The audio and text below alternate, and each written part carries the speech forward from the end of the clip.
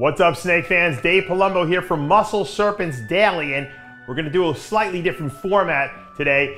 You know, I've been going a little off uh, topic, so to speak, because I had a, a weekend edition this past weekend. Now, Monday morning, we're going to be talking about boa breeding. So, you know, I'm going to show you some stuff from the snake room, and I'm also going to kind of talk to you from my studio here because you know, a lot of people have asked me to do a video on, on what's the best way to breed boas, and now that we're into October and the boa breeding season is kind of starting, I figured I'd kind of give you some of my insights. Now, I'm certainly not the most, ex most experienced boa breeder out there. Um, I don't know the most, but I've bred boas. so the key is you can read all the books you want. Until you breed boas, you're not a boa breeder, right? So I've tried to make myself knowledgeable about the, the process, and then I went ahead and I've bred boas for the last, you know, four years and successfully. So I'd have to say I'm a boa breeder, and I'm, I'm, I'm pretty good at it. You know, I'm still learning the, all the tricks, and, and some of the tricks that you're going to learn are that there are no tricks. It's just the boas do what they want. You have to create the conditions and the environment for them, and then it's up to them to do the breeding. So don't ever take it personal. Don't think you're a bad breeder because you're not doing things uh, or getting results. Now, if you get no results and you breed and you're breeding a lot of boas, then obviously you're doing something wrong. But if you're setting up the parameters and the conditions that are necessary, and you're not getting maybe the success that you want, which we all want every boa we breed to, to, to, have babies, right? that's that's ultimately the goal. You put you have five or six you know females that you're, you're, breeding. You want all five or six of them to, to have uh, babies. Never happens. You know, very rarely do you have 100% results. That's why it's good to breed more than you really want because, you know, if you get 50 to 75% success rate, I think that that's pretty good, you know, and, you know, that's reasonable. But, you know, who knows? The first year I bred boas, I, I had very good success. I think I bred six boas or five boas, and I got four of them that, that had babies. So you never know. Sometimes you get some beginner's luck too. The, the key is setting up the parameters. Since we're into October, what I like to do now is I start dropping my temperatures. My ambient room temperatures are probably around 82 for the boas right now, maybe a little warmer in the baby boa room. But 82 is about 81 to 82 is what it runs all year round. And they have a hot spot of 88, 80, you know, 88 to 89 degrees that if they want to sit on like after they eat to digest their food, that's fine. Also, during the summer and spring months, I keep the humidity very high. I run humidifiers in the room. Now I have to do that in Florida, which people are like, Florida's so humid because I have to run air conditioning because it's too hot out. So I have to run air conditioning. Air conditioning sucks the moisture out of the air. And even though I have a humidistat, which allows me to add humidity to the air with the air conditioning, it never, it's never enough. You really want to get your humidity over 60, 70, up 70 degrees is ideal. I know people that run it up to like 90, you know, almost 100%.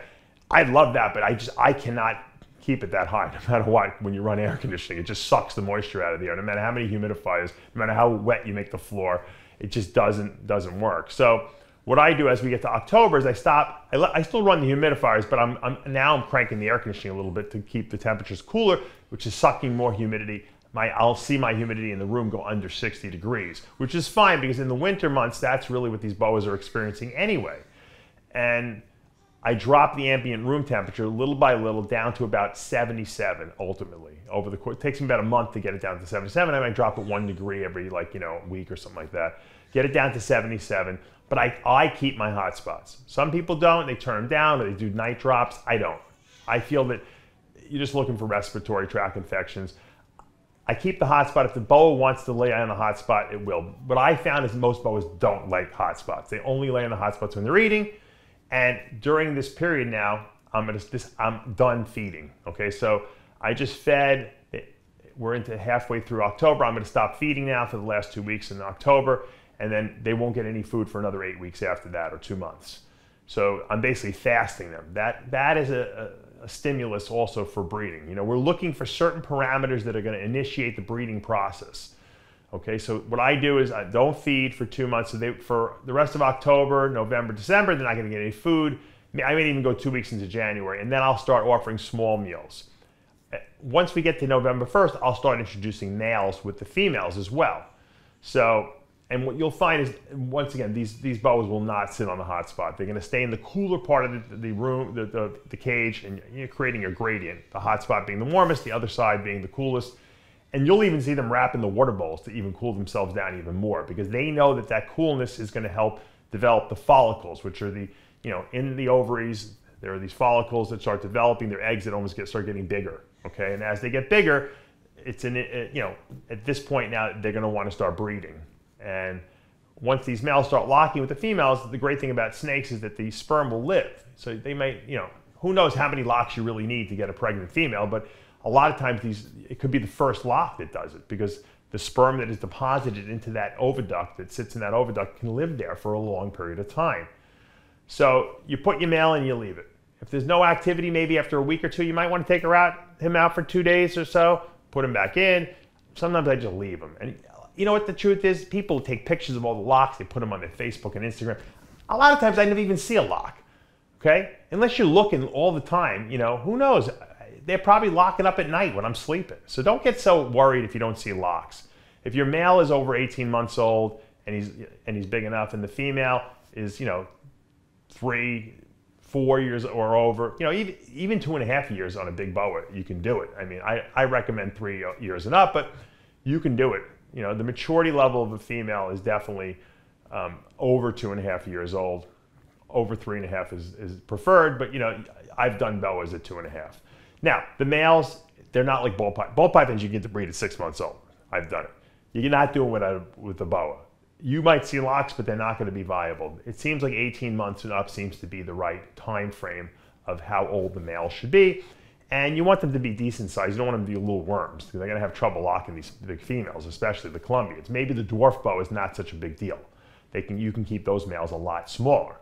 So you put the males in with the females and you leave them for, for two months. You know, you change your water and you, you, if they poop or pee, which they're not going to do very much of because you're not feeding them, okay, which is great. You kind of get like a, a, two, three month break from, from massive, you know, feeding and cleaning and let them do their thing. When the spring comes around, March 1st rolls around, start raising your temperatures again, back up to your ambient slowly, start feed, offering small, you know, meals. And a lot of times you'll notice an ovulation. What is an ovulation? An ovulation is when you get a snake and the follicles that have developed in the ovaries start building up and ready to go into the oviduct. And they all conglomerate in this one big mass. And so you got a big football-sized, you know, looking lump in the snake, even though the snake hasn't eaten.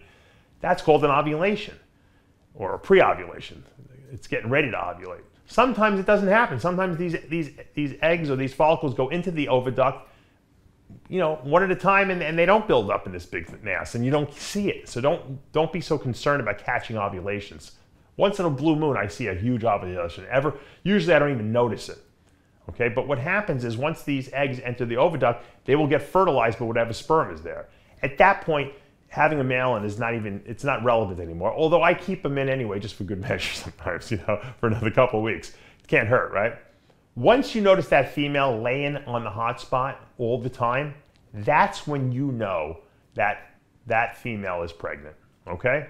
Now, the eggs may not be fertilized. I've had uh, a female lay on the, on the hot spot, you know, deliver, and then they were all slugs, you know, infertile ova. So you don't know, but by and far, the female thinks that she's going to deliver something. She's on that hot spot. Okay, that to me always validates that. Now, if you catch the ovulation, okay, and then you you notate that she has a shed, usually two to three weeks after that, you mark that down. Usually 100 days from that post-ovulation shed, which was what we call it, she will have that litter. Okay? So if you mark the date down, you're going to kind of know when it happens. Now, right before it happens, sometimes the females will shed two to three weeks before it happens. Don't freak out and say, oh my God, the, the, the, the litter's no good. That's what I thought initially. It happens. They shed sometimes out of nowhere. No one tells you that, but they do shed. Sometimes they don't.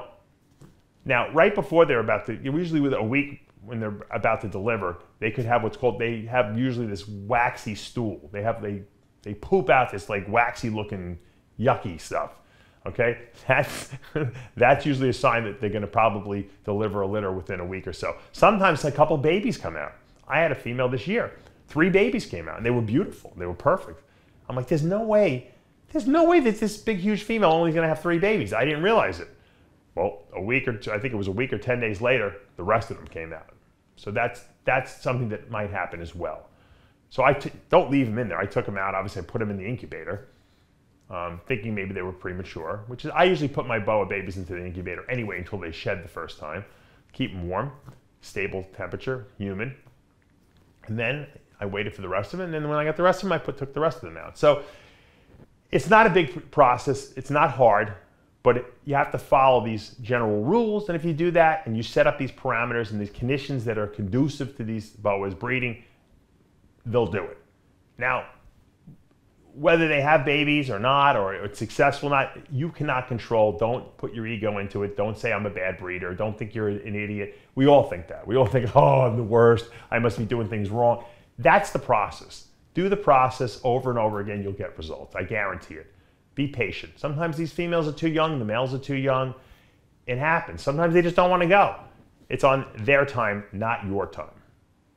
All right, guys. I hope you enjoyed today's little tutorial on how to breed boas. Hopefully you could take some of this information and use it in your own trials and, uh, you know, hit us up. If you have questions in the thread here, you could always contact me anytime you want on Palumbo's Pythons and Boas, Instagram, or my uh, Facebook page. You can contact me directly at my email in the description, and I'm happy to answer any questions if I if I can answer. Sometimes I have to look things up and ask other people what the answers are. That's how we all learn.